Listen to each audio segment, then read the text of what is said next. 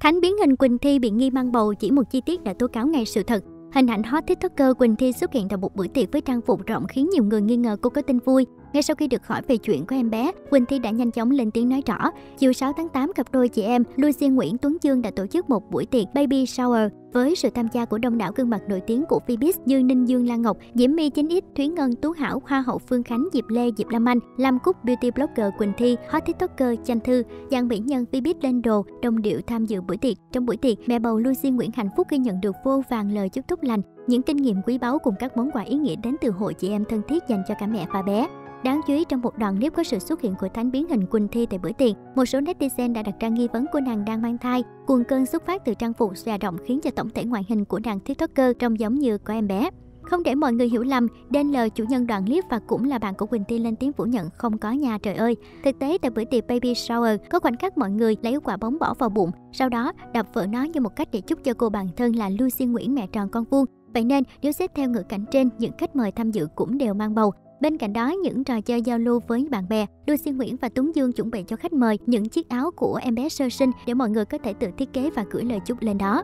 Quỳnh Thi là một trong những beauty blogger có sức ảnh hưởng lớn trên các nền tảng mạng xã hội hiện nay. Cô được nhiều bạn trẻ yêu mến qua những video chia sẻ về bí quyết làm đẹp trên YouTube. Hiện tại Hot Girl đã sở hữu một bộ kênh mạng xã hội có lượt theo dõi đồ sộ như 1,9 triệu follow trên TikTok, 987.000 subscribe trên nền tảng YouTube. Đặc biệt kênh YouTube của Quỳnh Ti đang rất được nhiều người theo dõi mỗi khi cô cho ra một video clip mới. Cô luôn mang đến những mẹo vặt trong làm đẹp, chăm sóc da, make up và làm mới bản thân. Với giọng nói nhỏ nhẹ, thân mật đáng yêu và những hình ảnh xinh đẹp quyến rũ mà Quỳnh Thi đang theo đuổi đã gây thương nhớ cho không ít người theo dõi trên mạng xã hội.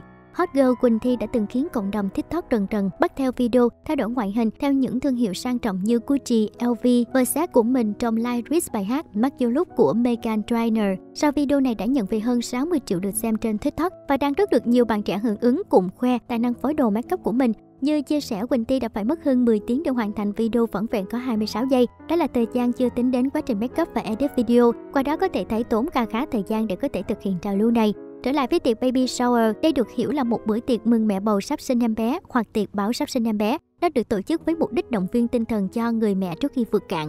Đặc biệt Lucy Nguyễn và Tuấn Dương cũng bật mí cho bạn bè thông tin quan trọng đó là gia đình chuẩn bị đón một tiểu công chúa với tên thân mật ở nhà là Nami. Hai vợ chồng đã dành những lời ngọt ngào, gửi đến thiên thần nhỏ. Khoảnh khắc đầy xúc động của Lucy Nguyễn cùng Tuấn Dương khi cùng đọc tâm thư khiến nhiều khách mời không khỏi ngẹn ngào. Lucy Nguyễn sinh năm 1989 và Tuấn Dương sinh năm 1998 là cặp đôi chị em được nhiều người ngưỡng mộ trên mạng xã hội. Trong khi chàng là hot boy điển trai thường xuyên xuất hiện trong các bộ hình lookbook của thương hiệu thời trang, thì nàng lại sở hữu profile khủng hơn khi là nhiếp ảnh gia có tiếng và là bà chủ của ba thương hiệu thời trang vô cùng được lòng sao Việt. Lucy Nguyễn Tuấn Dương thường xuyên khoe những khoảnh khắc ngọt ngào trên mạng xã hội. Họ là một trong những cặp đôi hút fan nhất nhì hiện nay trên mạng xã hội. Cách đây không lâu, Tuấn Dương đã chính thức cầu hôn Lucy Nguyễn sau một năm yêu nhau và cả hai chuẩn bị đón tiền thần nhỏ của mình.